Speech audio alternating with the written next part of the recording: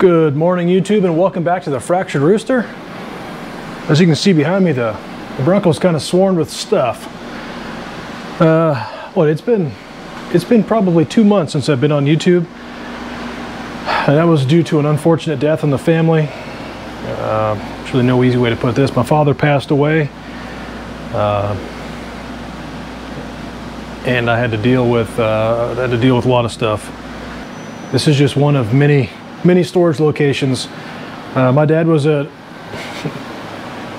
my dad was a, uh, a car guy just like myself. He had plenty of projects and tools and and things all over the place. And I've spent the better part of two months rounding all that up and dragging it all back here to Wichita, Kansas, uh, which has required me to buy a, a truck and a trailer and a tractor. Uh, it's been it's been uh, it's been an experience.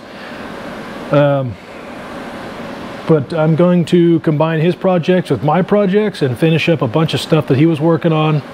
Uh, I don't know, maybe as a grieving process, I'm not really sure, but I think that's what he would have wanted. So uh, we're gonna finish up the Bronco next, after today. Today we're gonna go put brakes on the Ranger so that we can get it sold.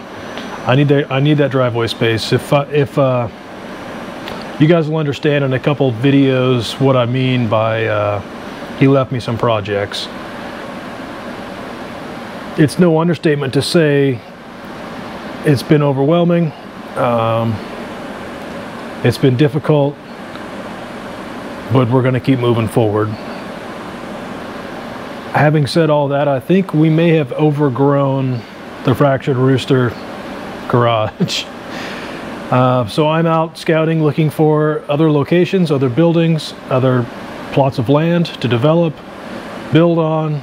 I'm not sure what the future holds for me or the Fractured Rooster, um, but it's clear that I need more space.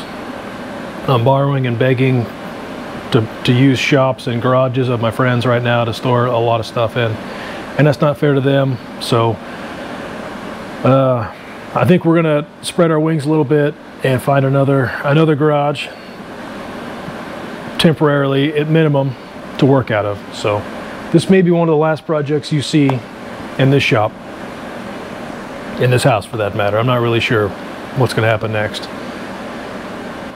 To get some certainty back in my life, I'm gonna jump back on a familiar project, that Ranger. One of the front brake calipers is sticking. So today we're gonna do front brakes on the Ranger. Brakes, hoses, pads, caliper paint evidently was on the list. Uh, so we're gonna go pick up a buddy, run over to his shop, use his lift because it'll make it so much easier. And uh, yeah, we'll see you on the road.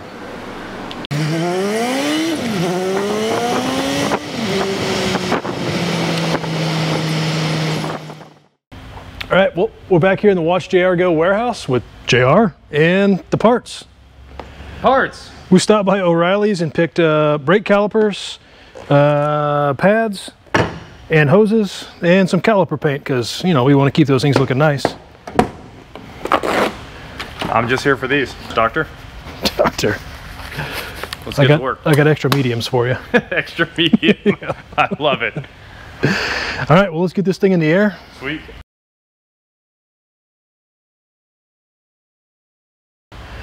Uh, but I don't think we've ever been under the Ranger. I tried to do a little burnout in front of the shop to add to lots of the uh, black marks out there, and these uh, these tires are a little too sticky for the 2.3 liter. Uh, but here's an undershot. There's a new the new muffler, the new fuel tank, the new fuel filter, the new fuel pump, the new fuel lines. And that's really about all we did down here honestly, that's all we did down here. But I put one tank of gas through it. I've got 265 miles on three quarters of a tank, and I noticed the other day when I got out, there was a weird ticking noise. I thought it was my catalytic converter, like being hot and cooling off. Mm -hmm. Then I realized it was coming from this wheel. Ooh. So I put my hand on one of the spokes, and the wheel itself was like 300 degrees. You got the grabby brake. Yeah, so These brake lines are antique and trash. yeah. Cloth brake lines. These are literally, first they're stretched to the limit and they're Oh, cloth. wow. Yeah, these are terrible.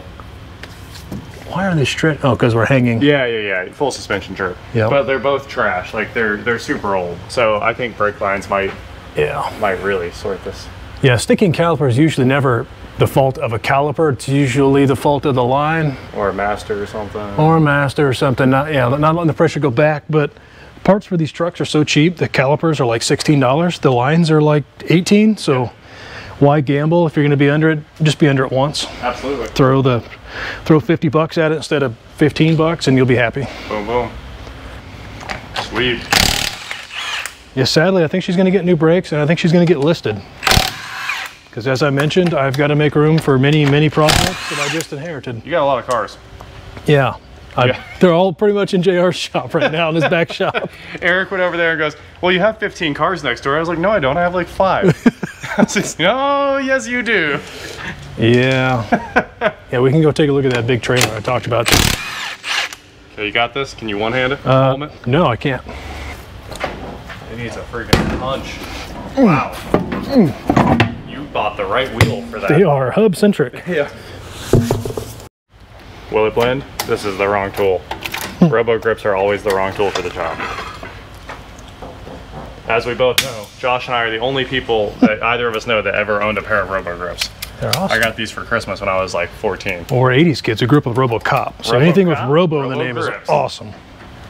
All right, this is the tried and true method. Okay. Bring in the small hammer. Yes.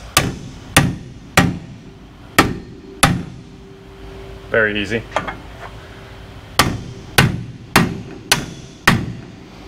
Nice. Cool. Now let me get the 3 8 that I couldn't find earlier. Keep pushing. Yep. 3 8 socket or extension.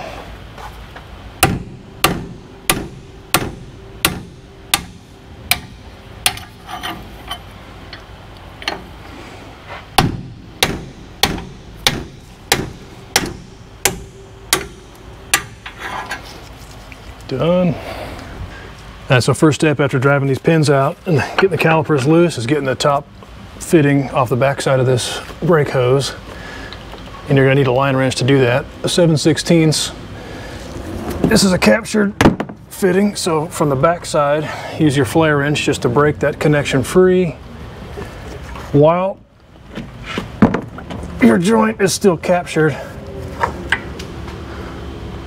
Okay. Now there's a metal clip that sits right behind that flare joint that we just broke apart that holds this fitting into this frame spring perch mount. Now it's all covered in grease. We got to figure out how to pry that apart without destroying it. Ugh, that's what that looks like. That clip that plugs in right through that hole. So until you break that fitting and completely remove it, you can't remove this clip. Thankfully, I remembered that before I mangled this thing beyond use. Now with that loose, you can take the brake hose out of the front and uh, pull the entire caliper off with the use of a pry bar. Uh, we're going to paint the calipers first, obviously, throw it all back together, and uh, this will be a 30 minute brake job. Um, and the only reason I'm painting these, I'm not painting them to look cool, I'm just painting them so that they don't rust. It's a big pet peeve of mine is seeing rusty brake calipers, as it's so easy to prevent by doing this right here.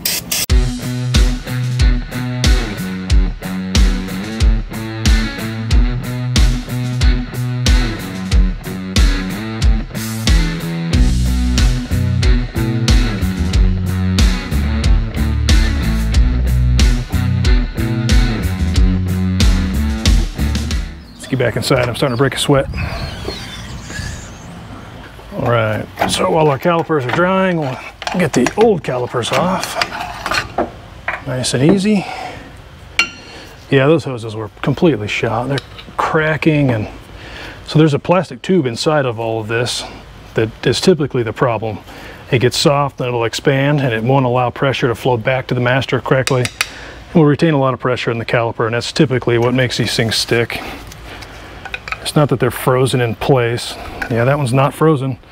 it's just there's too much too much bloating going on in the in the hose to allow the pressure to go all the way back to the master. So, well, now putting it back together is quite honestly the exact same process as you would imagine. Stick that through the hole, put your clip on the back, hook up your brake line, fitting, bolt on your caliper, load your pads, and you're done.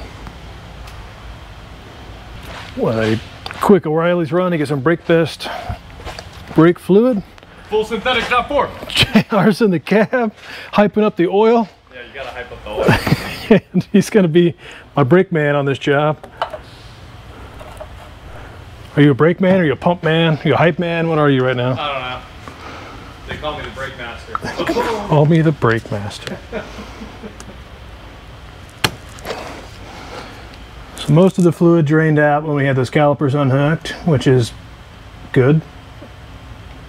Good, a good flush.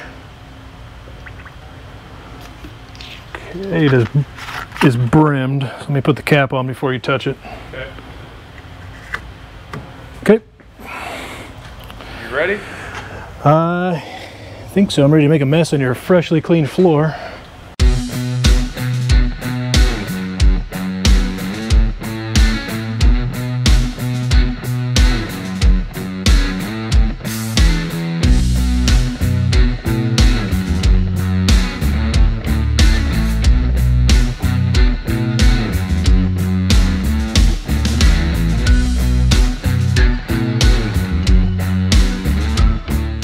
Okay.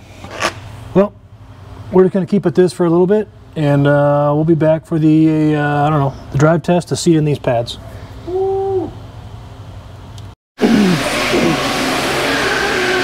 Yep. That's how you clean up after yourself. Yep. Only takes a few minutes, no big deal.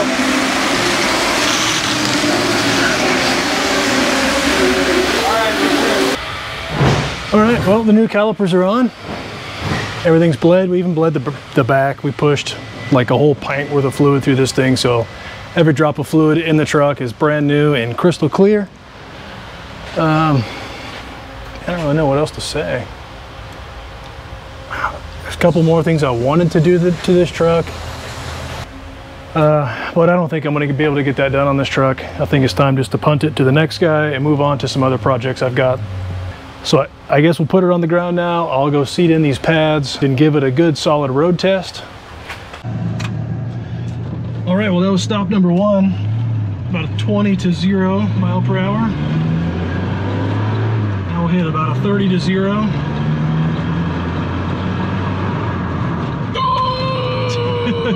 the seatbelt didn't lock. Yeah, the seatbelt didn't sit. It's a 30 to zero.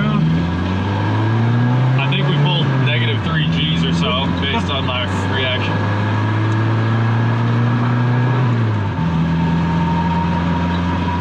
Feels like the opposite of a Tesla launching. The opposite. it's like a 45 to zero. I'm feeling a lot of warpage in the. Yeah, you really you could not tell before, No, but now you can feel everything in this this. is not good. Man, our new fluid trick. Our new fluid trick made everything better and worse at the same time. We didn't know how bad it was. Yeah, I That was know. the problem. We got some Ranger on Ranger crime right there. Twin Rangers. Anyway, Josh is going out to do the ultimate test for us. He's gonna try to lock up all four tires now that the brakes have all new fluid and it seems like it's all working way better.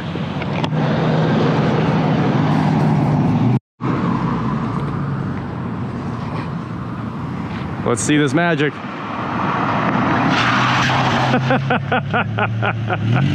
Only the rears. The fronts have so much stopping power, it's controlled. There must not be enough volume to the fronts or something like that. The rears sure locked up. That's more tire smoke than this thing's ever let Yeah, down. it was. I didn't have to correct it all. Yeah, it seems super nice. Pretty funny. Sticky tires stopped at like two truck lengths. it literally stopped I was going instantly. 30 miles an hour. Yep, I love it. Good morning, YouTube, and welcome back to day two of, uh, I guess this will be the final video of the Ranger. Kind of sad to see that thing go. Uh, yesterday we put new brakes, new brake calipers, pads, and hoses on it. And as soon as I started driving it, I noticed that it has significantly warped rotors. I don't know how I didn't notice that before. Uh, probably because the calipers were frozen in place or something. I, I don't I don't know. Uh, but I can't sell it like this. I mean, I can, but I'm not going to. So real quick, we're gonna pull these front wheels off, pull the rotors off, take them over to O'Reilly's in the hopes that they can turn them and they're still within spec. So if they get too thin, they just warp again and again and again and again. That's why there's a minimum thickness on these. Uh, kind of a safety issue, but also uh, if you go beyond that thickness, they just warp over and over and over and you do this every year. So at some point it's just best to buy new rotors and I'm hoping that's not today. Hope, hopefully these haven't been turned before and hopefully they're not too warped. They got to take so much meat off of them that they're that they're scrap metal because the only rotors I found are 60 bucks a piece and they won't have them until tomorrow morning. And this truck is sold today. So we'll have to make concessions on that on the sale if we can't get this done. So without further ado, we'll jump to a time lapse. I'm gonna do basically the same thing I did yesterday. Push those pins out of the calipers, pull the calipers off, pull the dust cover off the bearings, take out the large, well there's a, a cotter pin in there, we'll take out the large king nut or castle nut. Uh, hey zonkies, what you doing bud? Oh no. Hey. Uh, once you pull that large nut out there, uh, you'll see all the grease bearings, which we'll repack. Slide those rotors off. We'll take them over to O'Reilly's. Should be a 20 minute turnaround, 30 minute turnaround to get those turned. Slap them back on here and we should have perfect brakes. What do you think, Zeke? Is that right? Yeah. Meow. Oh.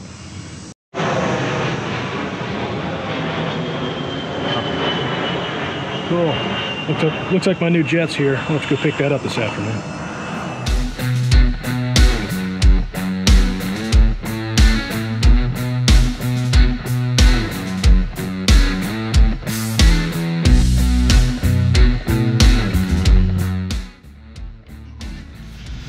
Oh, back to working on the ground in the driveway. That's, that's where I grew up. All right, well, this has the uh, probability to get pretty nasty and pretty grimy pretty quick. So on with the gloves and the bearings are a little, a little sloppy. See how long those spin? That's too long. There should be more grease inside that joint. I might be able to get pliers on there. Way too dry.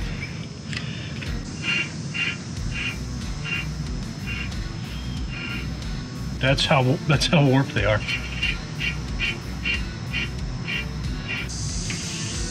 It doesn't seem like it's very bad, so this seems very turnable. But you got to understand these uh, places that turn rotors have they don't even like to get near that minimum because they are on the hook for all the liability should something go wrong. So when doing this, you want to pull your bearings out because if you don't, you're likely to get your bearings back with a bunch of metal shavings and stuff from their workbench.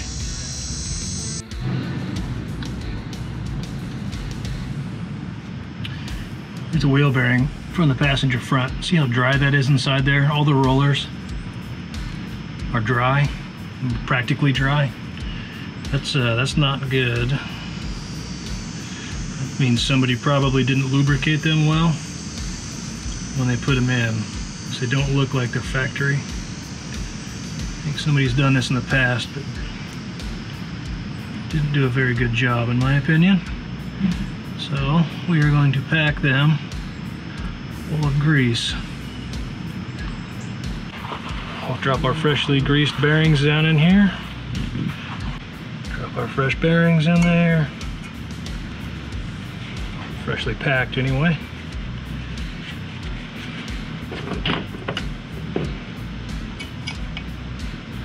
Set our seals in place.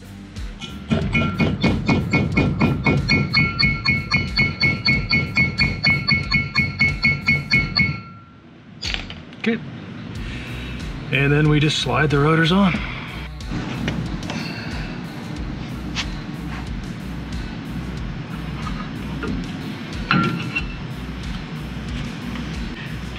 Shove on our freshly packed outer bearing.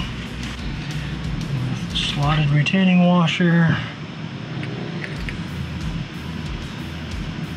No, these didn't turn out to be castle nuts like I thought they were going to be. The difficulty of this job increases greatly when your fingers get all greasy. That's about what you want. Maybe half a rotation.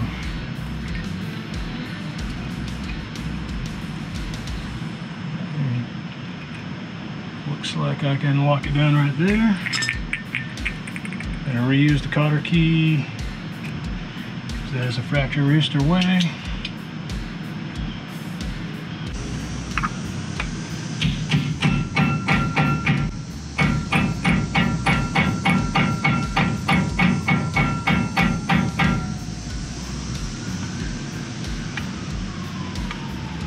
Perfecto. Now last but not least, get all the shavings and cuttings, fingerprints and oils off of there, front and back.